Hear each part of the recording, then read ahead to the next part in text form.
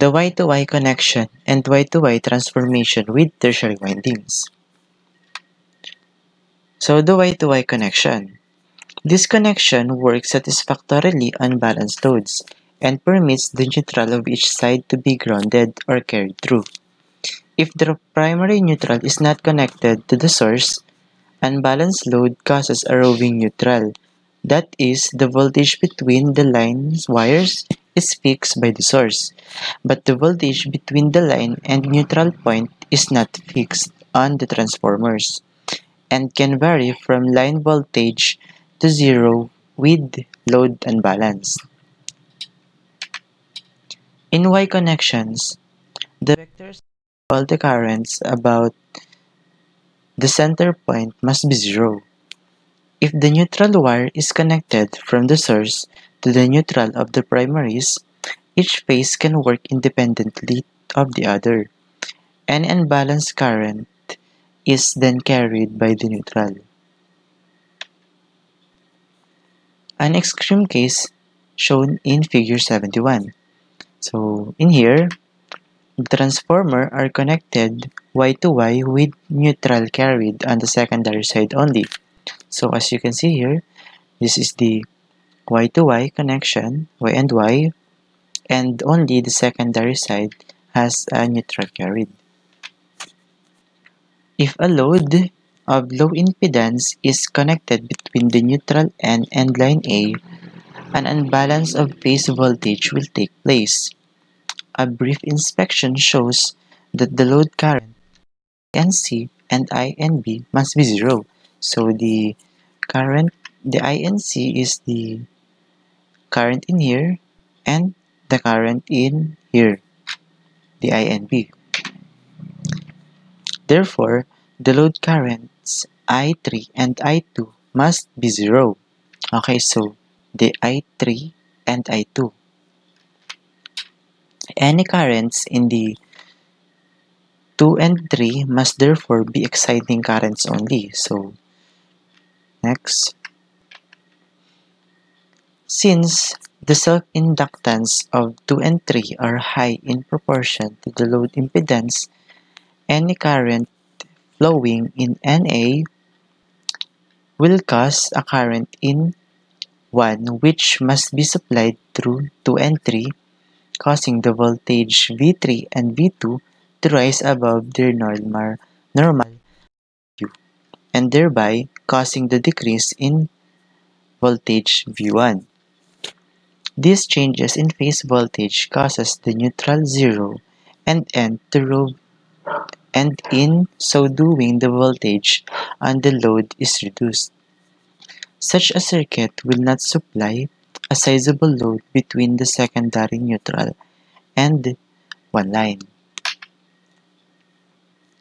The unbalanced voltage created by the presence of the load in figure 71 may cause an excessive saturation of the cores of the two transformers and also excessive stresses on their insulations. The effects described above may also occur to a smaller degree when the secondary is used to supply and balance three phases load from the point ABC. The unbalance in these cases results in the difference in the magnitude of the impedance drops in the individual transformers. Because of the characteristic described, the Y-to-Y connection is not recommended for use for use except on balanced loads. So the Y-to-Y connection is only recommended on balanced loads. So here, the vector diagram of Y-to-Y connection when supplying a balanced load of 0.8 power factor. Here.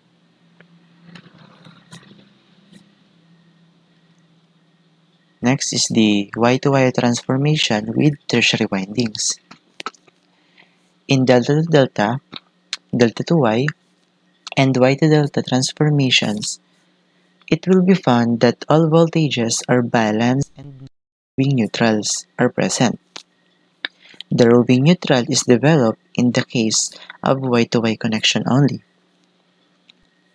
It cannot exist when a delta is formed with any three secondary winding or with any three primary windings. So in case describing figure 69, here, the sum of secondary voltages VAB, VBC, and VCA, so the voltages is the VAB, the VAC, and the VCB is equals to 0. Since the voltage range of each transformer is fixed, the sum of the primary phase voltage, the Vn1, Vn2, and Vn3, the, this one, Vn1, Vn3, and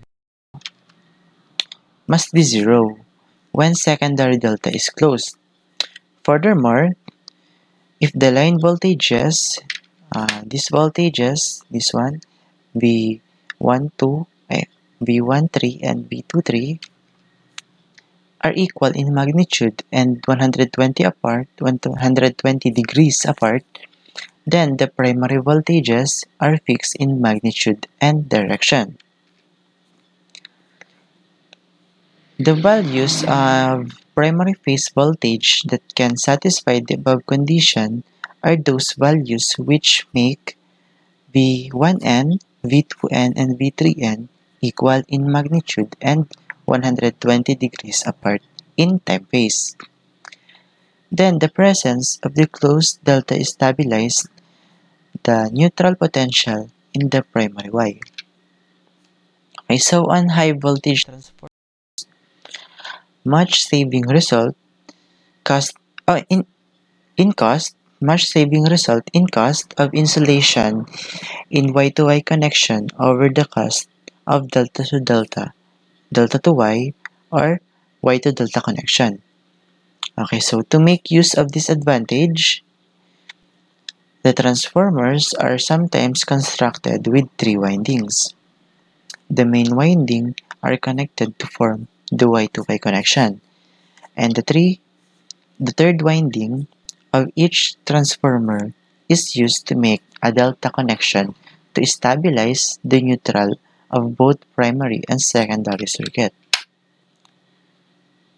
So here, the delta carries a third harmonic current.